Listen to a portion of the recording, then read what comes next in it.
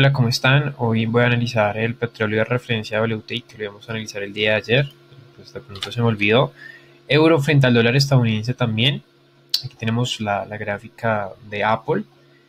Apple Link lo habíamos analizado yo creo que unas semanas atrás y, vamos a ver de pronto qué ha pasado, pero mi recomendación es ir asegurando algo y también vamos a ver el petróleo que también la idea es ir asegurando algo. Entonces aquí hemos sugerido comprar en la zona de los 124 a la zona de los 125 entra en una zona que para mí puede ser una zona interesante de resistencia. Entonces, mi recomendación es ir asegurando algo porque, pues digamos que con la Fed, todas las tecnológicas lo han hecho de maravilla. Pero de pronto con este panorama de la Fed, de ese, de ese discurso un poco agresivo, pues sí podríamos ver correcciones en los mercados. Entonces, aquí se podría formar esta especie de triángulo. Vemos que el precio lo que hace son máximos decrecientes. Entonces, puede favorecer de pronto una corrección, ¿no? forma una especie como de triángulo. Entonces no hay que descartar de pronto una corrección que pueda ser fuerte si los mercados caen. Entonces por eso mi recomendación es ir asegurando algo, reducir la posición. Em, pero bueno, si rompe esta zona ya de los 134, 135, vámonos para la zona de los 142 y ya buscar un nuevo máximo. Entonces, ahora sí analizaremos el petróleo de referencia WTI y ahorita analizaremos eh, el petróleo, no, el, euro, frente al dólar estadounidense, que pues ha sido como el más preguntado eh, en el canal de Telegram. Entonces, vámonos para WTI. Petróleo de referencia WTI, vamos a verlo por contrato de diferencia. Habíamos planteado compras ya hasta hace como dos meses. El primer profit era la zona de los 67 dólares y ya después la zona de los 76. Bueno, está fuerte el petróleo, ¿no? Está que sube y sube claramente una tendencia alcista. Em, este take profit, que aquí puede haber de pronto una parte de un retroceso, ya después de una subida, un retroceso pues muy natural, pero planteamos este take profit de la zona de los 76 dólares, porque esa zona debió ser un máximo quizás importante. Vamos a ver esto en gráficos eh, semanales. Citar esta propaganda de Wanda. Y ah, claro, sí, porque fueron los máximos del 2018. Entonces, por eso planteamos ese, esa zona como primer take profit. Mi recomendación es, si rompe esa zona, vámonos más para arriba, ¿no? La zona de los 112, pero de pronto puede haber una corrección. Si vimos ahí, eh, de pronto en, ese máximo del 2018, pues vimos una reacción muy fuerte. Una reacción muy fuerte del petróleo. Entonces, no hay que descartar, aunque la economía lo, ha hecho bastante bien, buenos datos macroeconómicos, la gente se ha estado vacunando en Estados Unidos para reactivar el turismo eh, usted vaya y, pues le, le, la vacuna, que me parece una buena idea como para, para esa parte del turismo. Y pues en general, buenos datos macroeconómicos, buenos datos de empleo.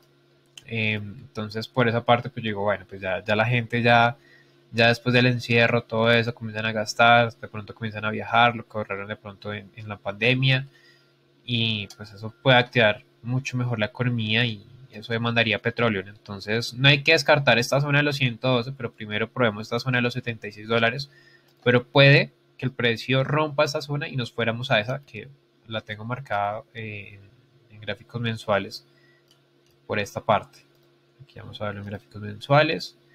Ah, sí, porque fueron los máximos 2015 después de también de, de ese problema económico que hubo en 2008 y todo eso, la gran recesión.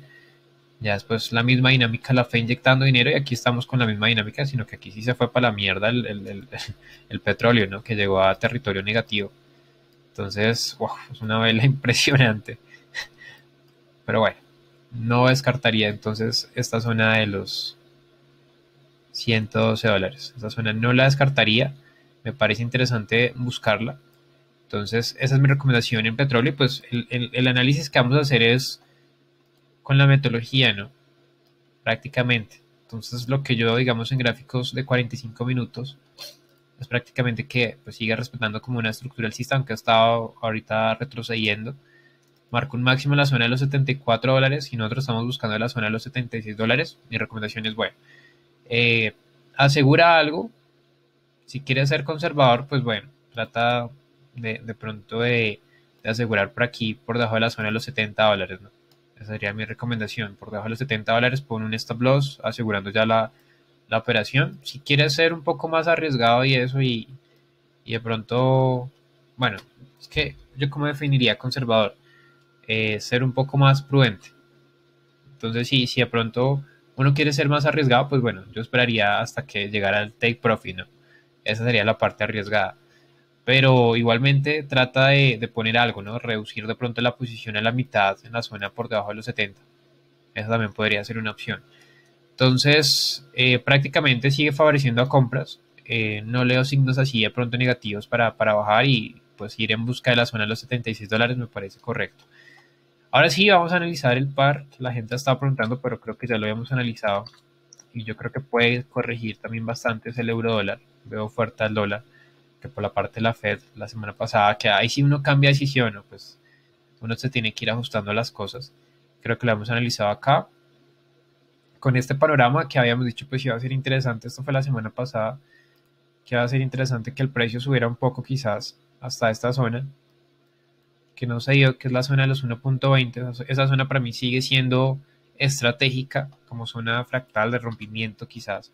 Que uno dice, bueno, aquí ya rompe, digamos, esta zona de acá y esa zona puede actuar como zona prácticamente de soporte. Bueno, aquí actúa como zona de soporte en este caso acá y, y ahorita pues podría actuar como zona de resistencia. Entonces por eso esa zona de los 1.20 Hoy casi la testea, ¿no? Hoy creo que subió bastante el euro dólar y ya ahorita pues veo que está en negativo. Un día muy volátil quizás en gráficos, vamos a ver esto en gráficos de 45 minutos y el precio llega a la zona de los 1.19700. Entonces, vamos a ver, porque pues si, si vemos esto en gráficos de 45 minutos, uno dice, no, ya esto ya, ya podría seguir corrigiendo, ya rompe como una estructura que estaba formando alcista. Entonces, por esa parte, pues para mí, de pronto podría seguir corrigiendo que el primer take profit puede ser esta zona, ¿no? Aquí ya, si uno quiere ser arriesgado, pues puede entrarse en esa zona o buscar microestructuras, que en este caso pues sería en esta zona acá de rompimiento. Acá, en la zona de los 1.19400 aproximadamente a la zona de los 1.19300. Eso sí, con un stop loss muy reducido podrían ir en busca de la zona de los 1.18. A mí sí me gustaría de pronto que pasara algo y subiera hasta esta zona de los 1.20 y después sí bajara, ¿no? 1.19900 a la zona de los 1.20 cerrados. Pero para mí sigue favoreciendo ventas. Eh, sigue favoreciendo ventas. Sigue favoreciendo ventas, buscando esta zona estratégica de los 1.17527. Esta zona me sigue a mí pareciendo interesante para de pronto buscar esta zona de soporte, ¿no? Esta zona de soporte estratégica también, que pues aquí actuó muy bien en abril más o menos en abril, sí, en abril por acá, y podría seguir el precio hasta esta zona, ¿no?